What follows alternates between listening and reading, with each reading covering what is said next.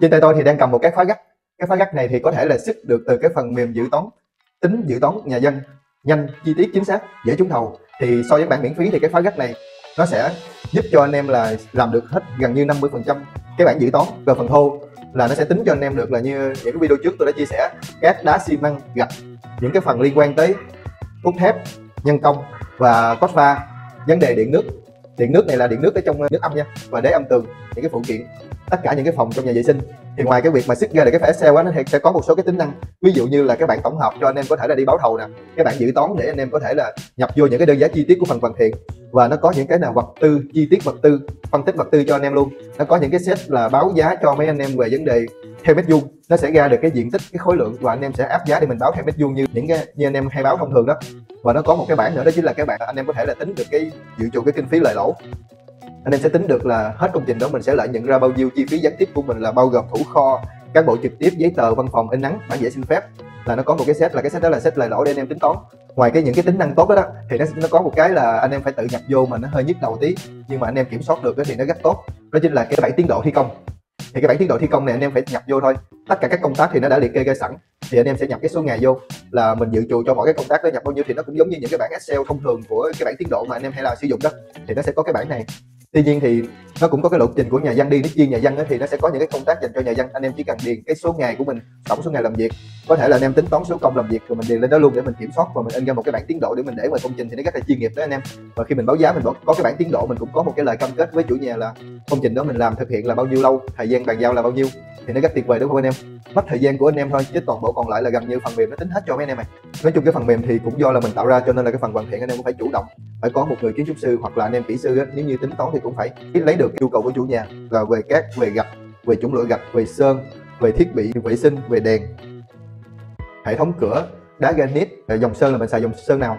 Thì ở công ty Happy House xài sơn Duga thì mình sẽ để sơn Duga vào thôi. Mình để đơn giá sơn Duga và mình tư vấn với chủ nhà là xài sơn Duga thì mình mình cố định những cái giá đó, những cái giá nào mà mình đang kinh doanh á.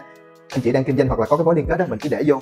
Mình để cái mối, mình ờ, mình để cái đơn giá đó vô thì ờ, nó cố định thì anh em sau này sẽ không còn tính nữa. Phần mềm nó sẽ tính nội si ra cho anh em mình.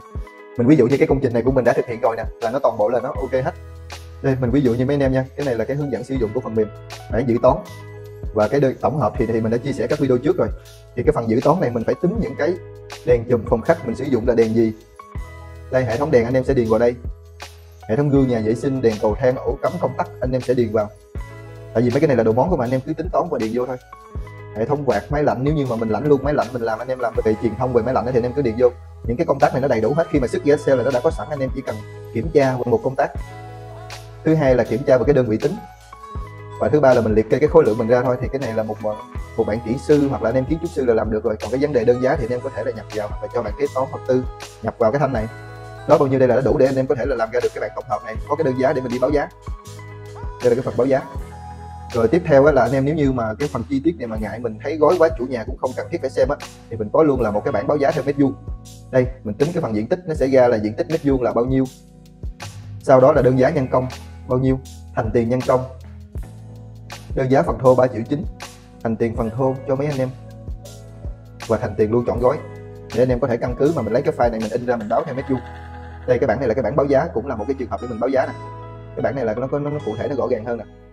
Đơn giá nhân công là bao nhiêu đơn giá vật tư là bao nhiêu nó hiện đây mình chỉ cần mình in ra thôi mình để thông tin công trình địa chỉ vào.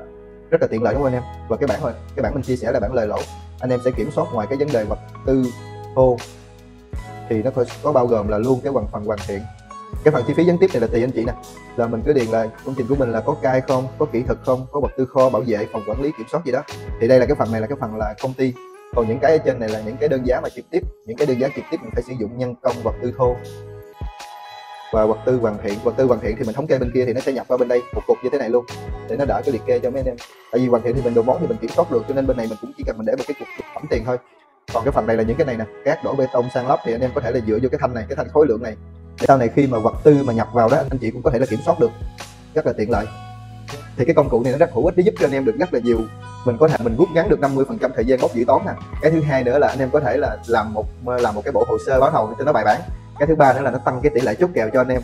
Cái thứ tư nữa là mình kiểm soát được vật tư kiểm soát được nhân công và kiểm soát được luôn những cái vấn đề tiến độ thi công để mình báo cáo với chủ đầu tư để mình hình thành một cái bộ hồ sơ báo giá chuyên nghiệp đó, thì mình sẽ tăng được cái tỷ lệ chốt kèo lên nha chúc anh em chốt được nhiều kèo công trình sau khi sở hữu công cụ này. Nhớ để lại comment về ý kiến của các anh chị. Những video tiếp theo mình sẽ có thông tin về giá cả cho mấy anh em tham khảo luôn. Có thể là anh em thuê, có thể là anh mua trọn đời. Cũng thuê tháng hoặc là thuê theo năm hoặc là theo trọn đời.